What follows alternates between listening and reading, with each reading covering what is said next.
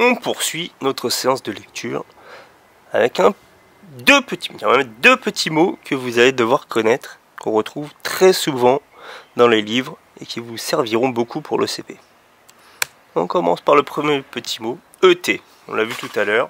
ET, ça fait et. Par exemple, on va écrire, on va écrire Keo et Adam. Keo et Adam. Voilà le premier petit mot. Et. Deuxième petit mot. On va donner un facile. UN. UN, ça fait un. Comme par exemple un chat. J'écris un chat. Le T, on le mettre en gris, ne se prononce pas. Hop, je le mets en gris. Voilà. Je rappelle, ça fait CH, ça fait ch. Avec le A, ça fait chat. Donc c'est le petit mot UN, petit mot qu'on va rencontrer tout le temps pour dire un chat. Vous vous rappelez, on ne dit pas j'ai vu chat, on dit j'ai vu un chat. Ensuite, on peut écrire un.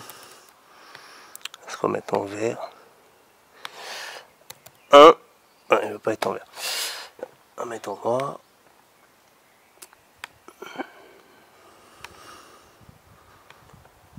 Non, rien à faire.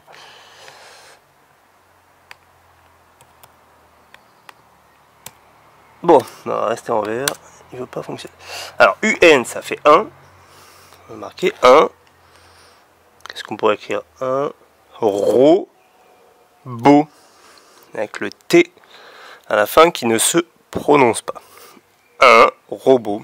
Par exemple, on dit je construis robot. On ne dit pas je construis robot.